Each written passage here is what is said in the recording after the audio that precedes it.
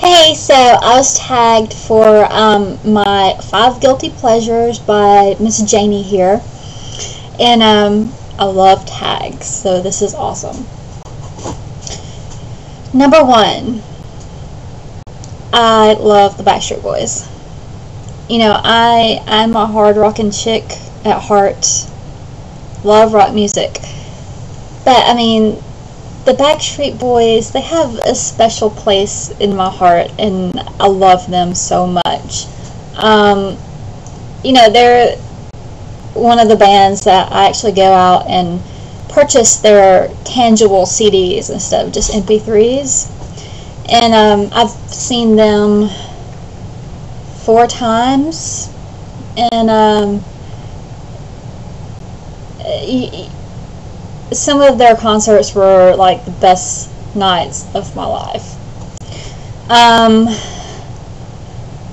they're coming to town on my birthday this year, um, next month, August 20th.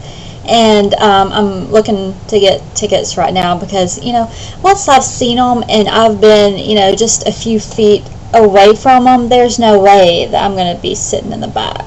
So I've got to get the perfect tickets right up front. Um, my second most guilty pleasure Buffy the Vampire Slayer. I had uh, I watched Buffy from the very first time it aired way back in like it was 96 or 97 I was still in high school and I started watching it from the pilot on to the end of it for seven years. And um, I didn't miss it. It came on every Tuesday night. Did not miss it.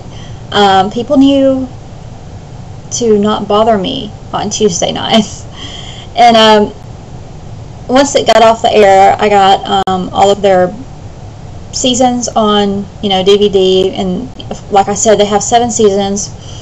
And um, this past Christmas, I got the Chosen collection, and it's all seven seasons in one big box, and uh, plus a few extras. So yeah, I love Buffy. Um, my third one would have to be Starbucks. I love skinny cinnamon dolce lattes. Ooh, and caramel lattes. Oh my god. Yeah. Um, third, no fourth. Guilty pleasure. Tattoos. But I don't feel guilty about them. Um, and my fifth one.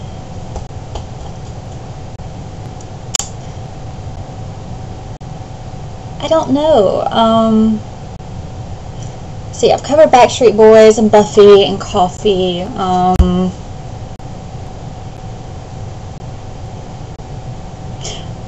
Janet Evanovich. I love her Stephanie Plum series, and you know, I'm always reading for school, and um, so when I want to read, like for fun, I read a fiction book that's just you know hilarious and insane, and it just takes my mind off the day to day crap. And uh, she does a really good job at that. I don't like her other books, but I love the Stephanie Plum series. Um, so those are my five guilty pleasures, and uh, you know I'm with Miss Janie. A year ago, my guilty pleasures would have been Coke and macaroni and cheese and Snickers and crap like that. But my one food item was sugar-free, fat-free latte. so um, yeah, I've come a long way. And I will be tagging uh, I don't know who I'll, I'll pick when I upload this. So um, I will see y'all later. Bye